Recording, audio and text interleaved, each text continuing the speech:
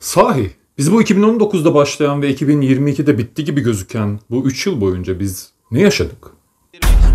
Bugün akşam saatlerinde koronavirüs şüphesi olan bir vatandaşımızın test sonucu pozitif çıktı. Hayatımıza birden girdi ve hepimiz afalladık. O birkaç hafta içerisinde ne olup bittiğini anlamadık bile. Ve ilerleyen birkaç ay içerisinde de öylesine afalladık ve öylesine şeyler yaşamaya başladık ki Bugün e, açıklanan ilk vakadan bu yana bu 3 ay geçti. 5000 yakın insanımızı kaybettik. Yüzlerce insanımız yoğun bakımda. bu esnada aklımıza gelen tehlikeli ihtimaller ise sürecin üzerimizde yarattığı o duygusal yorgunluğu kat be kat arttırıyordu. Bu sürecin sonu ne olursa olsun bunu herhalde bir 20-30 yıl aklımızdan çıkmaz diye düşünüyorduk. Böyle bir şey hiç unutulur mu dedik.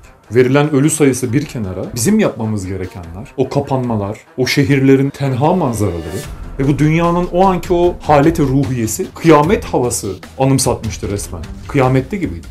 Ve sonra 2022'nin sonlarına doğru aslında değil mi bir şekilde beklenen gün geldi ve her şey bir şekilde bitmiş gibiydi.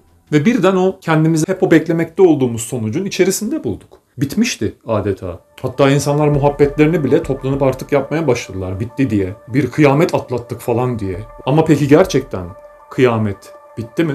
Ve gerçekten başlangıcı 2019 muydu acaba?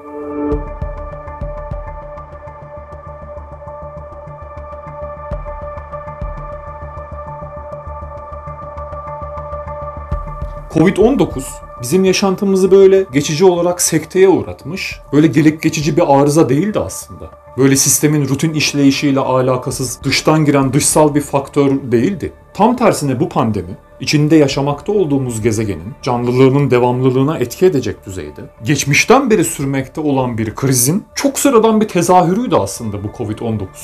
Düşününce bu Covid-19 hakkında oysaki vaktinde tonlarca şey söylenmişti. Mesela daha 1988'de moleküler biyolog Joshua Lederberg uyarıyordu.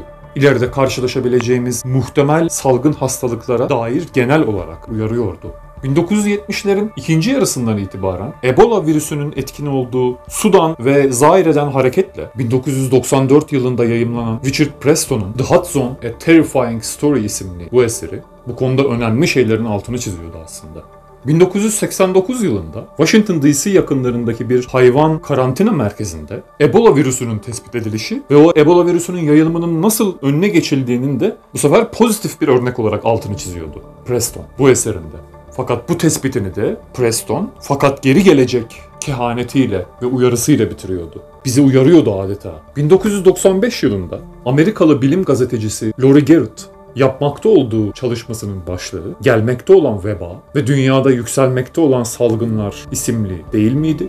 Diğer taraftan Mike Davis kuş gribi ile alakalı romanında küresel çapta geldiğimiz dünyadaki tahribatın yakın zamanda bir 5-10-20 sene sonra bunun sonuçlarını biyolojik olarak yaşayabileceğimizin altını kalın kalın çiziyordu. Ve bunu 2005 senesinde yapıyordu. Diğer taraftan bundan 30 sene önce Andrev Nikiforuk isimli gazeteci, popüler bir salgın ve bulaşıcı hastalıklar tarihi isimli eserini kaleme almıştı. Türkçe'ye de çevrilmişti hatta bu o yıllarda.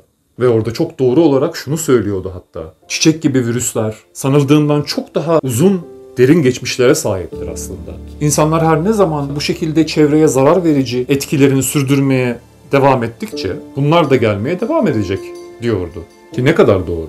İnsanlar bu tahribat verici yaşamlarına çevreye devam ettikçe biyosfere çiçek ve benzeri virüsler ortaya çıkmaya devam edeceklerdir. Te o zamanlardan bunun altını çizmekteydi. Ki o yıllar ki çiçeğin daha aşılarla yeni önüne geçilip daha yeni zafer kazanıldığı bir zamandı.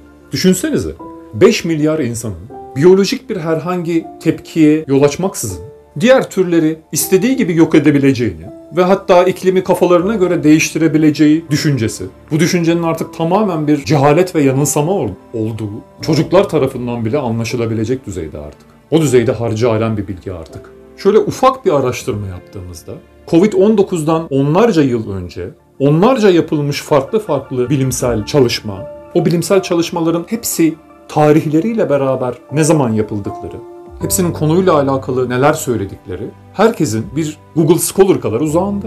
Bunun böyle olup olmadığını, yazılıp yazılmadığını incelemek için. Tüm bu çalışmaları yapan insanlar hepsi birer geleceği gören bir sihirli küre mi kullanıyorlardı? Yoksa bilim denilen başka güzel bir enstrümandan mı faydalanıyorlardı?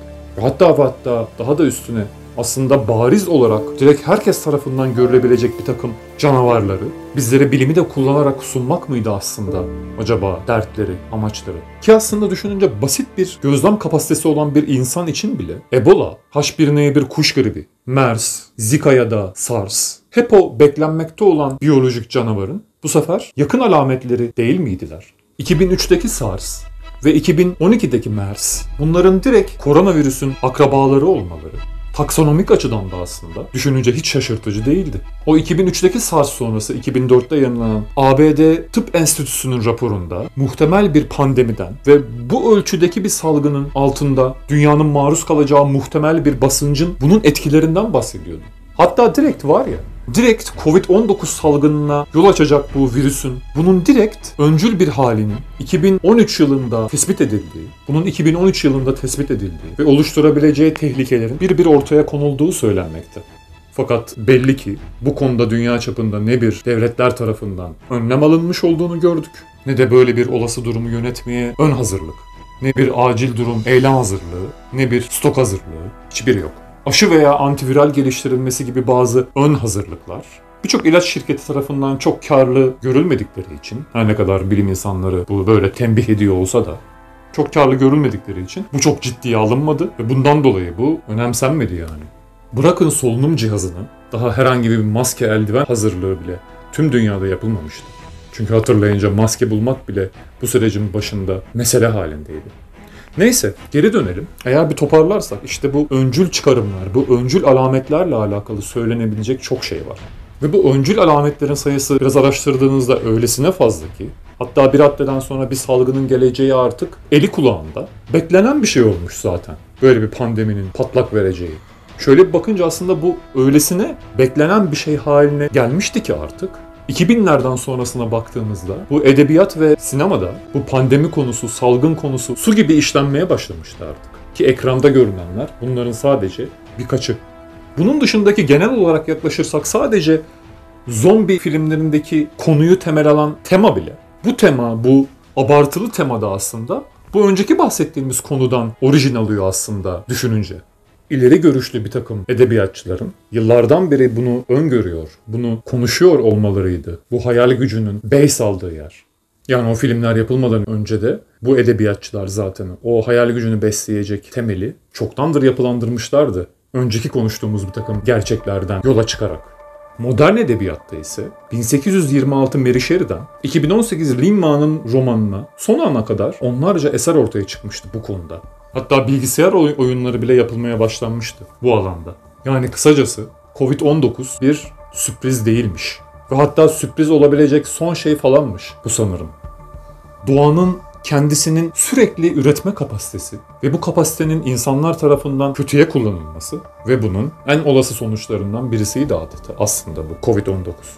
Düşününce tüm tropik biyosferin yıkımları, ekolojik yıkımlar, kontrolsüz büyüme, tüm o hayvan çiftlikleri ve fabrikaları ve bunları besleyen toplumların yaşadığı fakirlik. Tüm bunlar aslında işte bu saydıklarımız bu Covid-19 olayının anahtar sözcükleriydi aslında. Dünyanın ekolojik olarak tahrip olmuş kısımlarından Ebola ve AIDS, Diğer taraftan toplumsal ve kentleşme tahribatlarının, bozuk toplumlaşmaların geliştiği, bunların geliştiği kısımlarda ise kolera, sıtma, veba ve İspanyol gribi bunlar gibi, SARS ve MERS türleri gibi birçok örnek verebiliriz. Zahmet edip biraz bilimsel literatür tarayabilme zahmeti gösteren insanlar için bunlar o zamanlarda da birer sır ve giz değildi tabi. Ama büyük bir çoğunlukta buna birer sır ve giz olarak bakan insanlar var. Bu tip insanlar var, oldu ve oluyor maalesef. Bu insanlar vasıfsız halkın içinden de varlar ve sözde öğretmen, doktor, avukatların içerisinden de. Birçok. Zaten düşününce de birçok distopik filmin de zaten başlangıcı bu değil midir?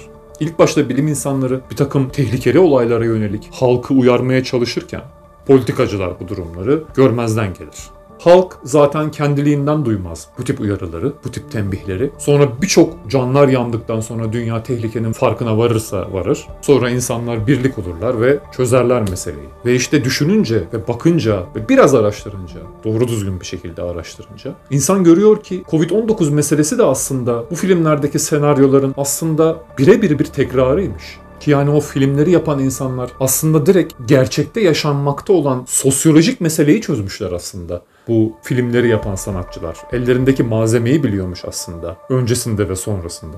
Elinizdeki sosyolojik malzemelerin bu tip çıktılar vermiş olduğunu ve vereceğini biliyormuş aslında bu senaryoyu yazan insanlar.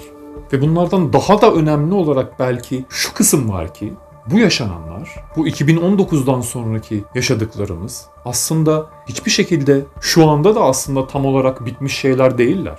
Bunlar yani Covid-19'da aslında bitmiş meseleler değil. Her nasıl ki Covid-19 2019'da başlamadı.